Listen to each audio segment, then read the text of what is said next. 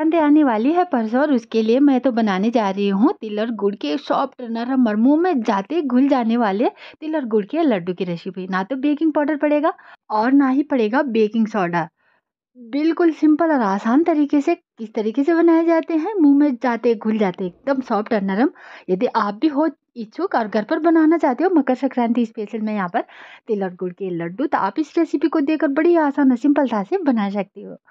नमस्कार फ्रेंड मैं हूँ संगीता और आपका बहुत बहुत स्वागत करती हूँ आपकी अपनी रसोई में।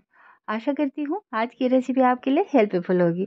अच्छी लगे तो इसे लाइक भी करें चैनल को सब्सक्राइब करें शेयर करें बेल आइकन दबाना ना भूलिएगा। तो प्लीज़ प्लीज़ लाइक सब्सक्राइब ज़रूर से कर दीजिएगा। तो चलिए बना लेते हैं सिंपल और आसान तरीके से। देखें कितने सॉफ्ट और नरम बने हैं ये। ऐसे आपके भी बनेंगे। बिल्कुल भी कोई भी मिस्टेक नहीं होगी। पाँच मिनट में लड्डू बन के तैयार भी हो जाएँगे। तो बाहर से ख़रीदने से अच्छा अपने घर पर बनाएँ। तो इसको बनाने के लिए हमें चाहिए यहाँ पर तिल और गुड़। पर ध्यान रखना है, मात्रा बराबर होनी चाहिए। यानी कि गुड़ अच्छी क्वालिटी का होना चाहिए, तिल हमने पहले साफ़ कर लेने हैं। लड्डू बनाने का हो, चिक्की बनाने का हो या फिर हो, रेवड़ी बनाने का। इसका मेज़रमेंट परफेक्ट रहना चाहिए। जितना तिल ले रहे हैं या मूंगफली ले रहे हैं, उतना ही गुड़ भी चाहिए। गुड़ अच्छी क्वालिटी का हमने ले लिया यहाँ पर। तिल मैंने यहाँ पर ढाई सौ ग्राम लिए हैं और उतना ही मैंने गुड़ भी ले लिया तिल को मैंने पूरी तरीके से यहाँ पर साफ़ कर लिया है। थोड़े से भी कंकर पत्थर मुँह में नहीं आने चाहिए। तो हमने यहाँ पर दोनों चीज़ों को बराबर मेज़रमेंट रखना है। चलते हैं गैस की तरफ़। गैस पे एक पैन चढ़ाएँगे यहाँ पर। सबसे पहले हम तिल को रोस्ट करेंगे। गैस का फ्लेम मध्यम पे रखेंगे। धीमी आँच पे लगातार कंटिन्यू इसको चलाते रहेंगे। तिल में अपना ही एक फ्लेवर होता है और इसको हमने यदि ज़्यादा जला दिया तो और ये कड़वे से हो जाते हैं। तो थोड़ा बहुत इसका स्वभाव ही रहता है। फ्लेम हाई नहीं रखना, ज़्यादा नहीं भूनने। जैसे जैसे इसमें से चटकने की आवाज़ आने लगेगी ना बस पहले आप पैन को गर्म कर दीजिएगा, गैस का फ्लेम बिल्कुल लो पे कर दीजिएगा, लगातार कंटिन्यू चलाते रहेगा देखिए, चटकने लगे हैं तिल। बस इतना ही हमने इनको रोस्ट करना है। जितने ये रोस्ट होंगे ना, उतने खाने में हमारे जो लड्डू हैं बढ़िया होंगे। स्वाद बहुत बढ़िया आता है, जितना हम इनको भूनते हैं, बस ध्यान रखना जलाना नहीं है। बस इतना ही हम इनको भूनेंगे, तुरंत इसको यहाँ पर निकाल लेंगे। जो तिल हमने रोस्ट किए ना, इनको थोड़ी देर हम थाली पे छोड़ देंगे। तब तक हम आगे के प्रोसेस कर लेते हैं, ये भी ठंडे हो जाएँगे। तो वही पैन है, पैन अभी गर्म है।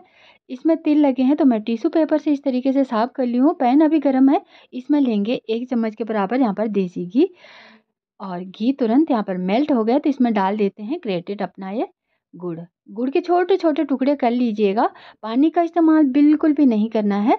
आप चिक्की बना रहे हो या फिर आप रेवड़ी बना रहे हो या लड्डू बना रहे हो, किसी तरीके के भी गुड़ का इस्तेमाल कर रहे हो तो पानी का इस्तेमाल नहीं करेंगे। लड्डू बनाने के लिए तो बिल्कुल भी पानी का प्रयोग नहीं करना है। थोड़ा सा भी हमने पानी डाला तो गुड़ को पकने में ज़्यादा समय लगेगा। गुड़ हार्ड हो जाएगा, लड्डू बिल्कुल भी नहीं बन पाएँगे। तो टूटने से भी नहीं टूटेंगे, चाहे तो बेकिंग पाउडर डालो, बेकिंग सोडा डालो।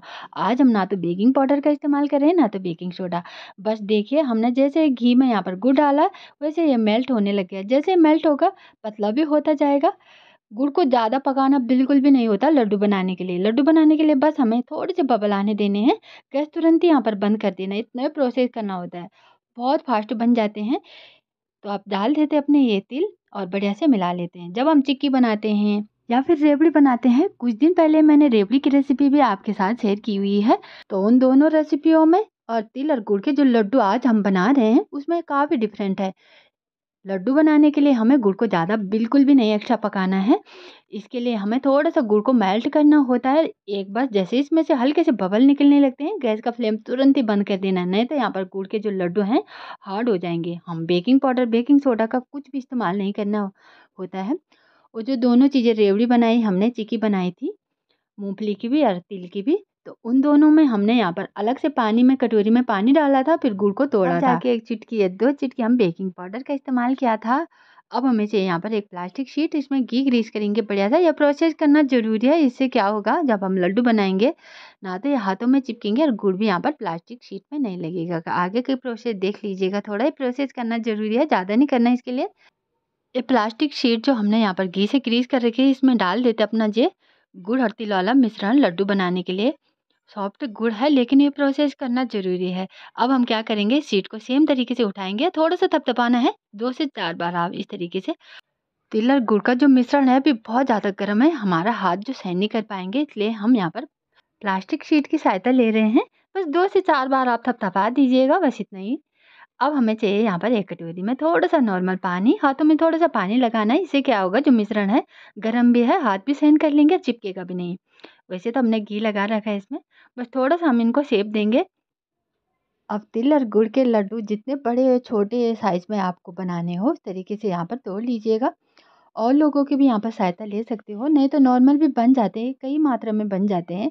जैसे बूंदी के लड्डू बनते हैं, उसी तरीके से भी बनते हैं। बहुत ही ज़्यादा सॉफ्ट और नरम होते हैं खाने में।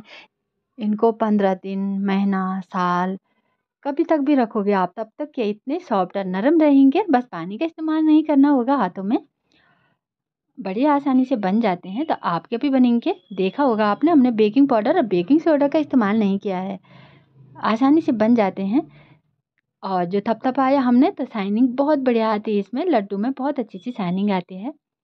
तो गुड़ और तिल के लड्डू हमने इसी तरीके से सेप देने हैं। और जैसे अभी क्योंकि अभी ये जो मिश्रण है, अभी गर्म है, जैसे हम इसके लड्डू बना रहे थोड़ा सा ये फैल रहे हैं, जब तक ये लड्डू के शेप में ना आए, तब तक हम इनको शेप देते रहेंगे। पहले आप इनको लड्डू की थोड़ी थोड़ी सी शेप दे दीजिएगा, बाकी हाथों से शेप देते जाएगा तो परफेक्ट बने रहेंगे आपके ये लड्डू। तो देखिए, हमने सारे लड्डू बनाकर यहाँ पर तैयार भी कर लिए हैं। कितने आसान और सिंपल, है ना? तिल और गुड़ के लड्डू बनाना घर पर। है ना, सिंपल? कितना सिंपल और आसान है देखिए आपके भी बनेंगे परफेक्ट पहली बार में। यदि आपको बिल्कुल भी नहीं आते तिल और गुड़ के लड्डू बनाना तो बड़ी आसानी से आप भी बना सकते हो। और मेरी रेसिपी को देखकर तो आपको बिल्कुल भी यहाँ पर डिफ़िकल्ट नहीं लगेगा। देखिए, कितने आसान और सिंपल तरीके से पाँच मिनट में हमारे ये तिल और गुड़ के लड्डू बन के भी तैयार हो गए हैं। मैंने तो सारे टिप्स और ट्रिक्स भी आपके साथ शेयर कर लिए हैं कि कैसे आप तिल के गुड़, गचक और रेवड़ी बना सकते हो। बड़े आसानी से, सिंपल से लड्डू बनाते तो उनसे भी आसान है। बस कुछ करना ही नहीं थोड़ा सा गुड़ को मेल्ट करना है।